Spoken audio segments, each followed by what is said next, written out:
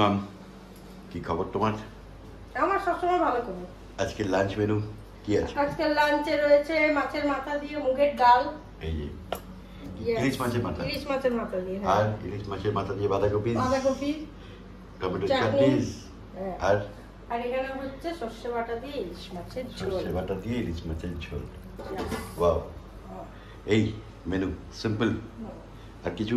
আর কিছু না খাওয়া দাওয়া প্রচুর হচ্ছে হয়েই যাচ্ছে হয়েই যাচ্ছে। সেই জন্য সবাই আমরা একটু ঘরোয়া খাবারটা হালকা পাতলাই খাচ্ছি। আমি মাটন আনতে চেয়েছিলাম। জয়ন্তদাকে বললাম বলল হ্যাঁ। বলল মাছ খাব তো ইলিশ মাছই খাবে? হ্যাঁ ইলিশ মাছ খাবে। চিংড়ি বলেছিলাম সেটাও ওদের আপত্তি। হ্যাঁ ঠিক আছে তাহলে ইলিশই খা। আর কিন্তু কালকে রাতে মাটন আমরা খেয়েছিলাম দারুণ খেয়েছিলাম হ্যাঁ, অসাধারণ টেস্ট তাই না? দারুণ ভালো রান্না হয়েছিল। আর তোমার এই গানের ভিডিওতে প্রচুর লোক কমেন্টস করেছেন। সবাই- ধন্যবাদ যে এখনও আমার গান তোমাদের ভালো লাগছে। তোমরা ভালোবাসছো। খুব ভালো লাগছে। তো এরকম ধরনের গান আবার গাইতে পারো তো। এই ক্যারাওকে দিয়ে। ব্যাপারটা কিন্তু বেশ ভালো। ব্যাপারটা হ্যাঁ প্রথম করলাম এরকম ভাবে। হ্যাঁ। আমি আসলে কোনোদিনই ওই ট্র্যাকে হুম। নিজের মন মন- মতো মিউজিকের সঙ্গে গিয়েছি। স্টেজে যা হয় আর কি স্টেজ প্রোগ্রামগুলো আমার মনে হয় ট্র্যাকে ম্যানুয়ালি করি করে হ্যাঁ। অভ্যস্ত। না ট্র্যাকে গাইলে মনে হয় বেঁধে দেওয়া হয়। বেঁধে দেওয়া হয় সেটাই হচ্ছে ব্যাপার। মানে যেটা রেকর্ডিং স্টুডিওতে হয় সেরকম মনে হয়। কিন্তু ভালো শুনতে লাগে। মজা পাই না গান। গিয়ে মজা পাই না প্রাণ পাই না। এই ঠিক, ঠিক। কিন্তু বিষয়টা খারাপ নয় করতে পারো। ভালো মানে এখন এখন যদি আমি আর্টিস্ট থাকতাম তাহলে আমার খরচা অনেক কমে যেত। পেমেন্টটা পুরো আমার বাড়িতেই আসতো আর কি। ওইটা চালিয়ে দিয়ে গান গাইতাম তো। মিউজিশিয়ান পেমেন্ট নেই। না ওই ফ্লেভারটা পাওয়া যায় না যেটা তুমি স্টেজে করতে পারো না। ওই যে হ্যাঁ। একটা তবলিয়ার সঙ্গে চাওয়া চাই হ্যাঁ। তবলিয়া বুঝে যাচ্ছে যে আমি কি চাইছি। কোন জিনিস রিপিট হবে?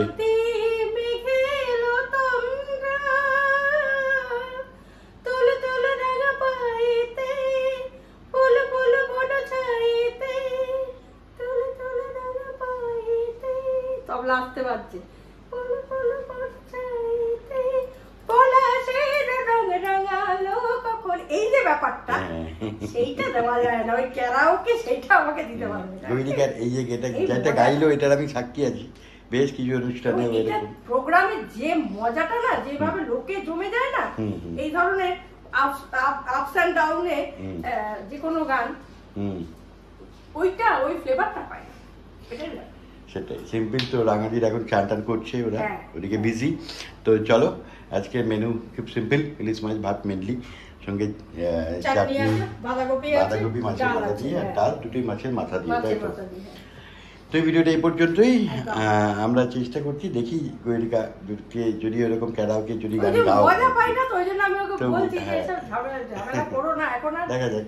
বুড়ো বুড়ো হারে এসে কি চেঞ্জ করতে পারব? না তবু প্রচুর লোকে প্রশংসা করেছে অনেক লোকের ভালো লেগেছে। হ্যাঁ ওই তো ঠিক হয়ে যায়। লোকে প্রশংসা করলে ওরই তো উত্তেজনা বেড়ে যায়। আমি বললাম। করো না ওইসব ফালতু যদিও গৈরিকা এখনও গানটা শিখছে শেখার কোনো শেষ নেই শেখার চেষ্টা বৃথা তাই। না আমি শিখছি না সেটা ছেড়ে দিয়েছি কারণ আমার গানটা হবেই না আমি বুঝে গেছি সেই তো কি হবে? ওই তো গিয়ে দিলাম তো মায়াবতী। ওটা তো মাঝখানে পেলেতেই সমস্যা হয়ে যায় কেন মনে করতে পারি না আর কিছু। অনেকে পছন্দ করে না। যদি সত্যি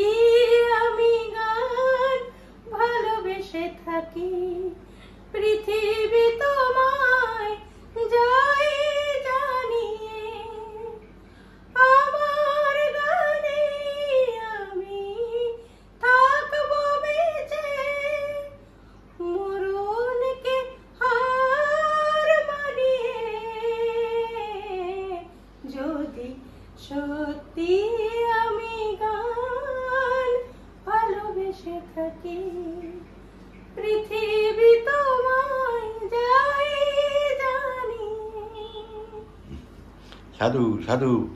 কিন্তু ইলিশ মাছের ব্যাপারে একটা কথা বলার আগে আমি বলি অনেকে বলবে এটা এরকম রং কেন? এক নম্বর সর্ষে ইলিশ এরকমই রং হয়। আর দু নম্বর বলবে এত লোক এত পিস কম কেন? এটা পিস কম নয় আমরা যত লোক সবাই আমরা একবেলার- এক বেলাই খাব কোনো দুবেলা রিপিট নেই।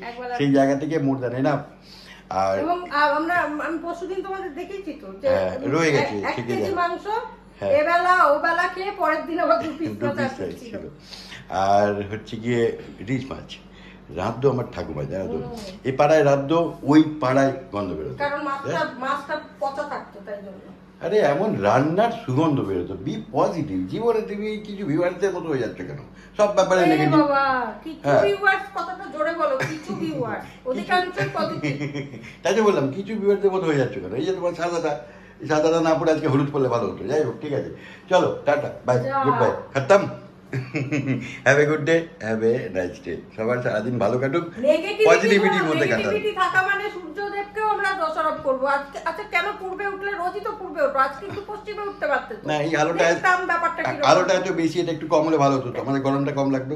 এই নেগেটিভিটি নিয়ে আমাদের জীবন নয়। আমাদের জীবন হচ্ছে পজিটিভিটি একদম। পজিটিভ থাকো পজিটিভিটি নিয়ে চলো। পজিটিভ চলো। চতুর্দিকে নেগেটিভিটি এরকম করে সরিয়ে সরিয়ে চলো। কিরম করে? এরকম করে। এরম করে? হ্যাঁ। সাঁতার কাটার মতন? হ্যাঁ। চলো টাটা। বাই দেখা হচ্ছে। একদম।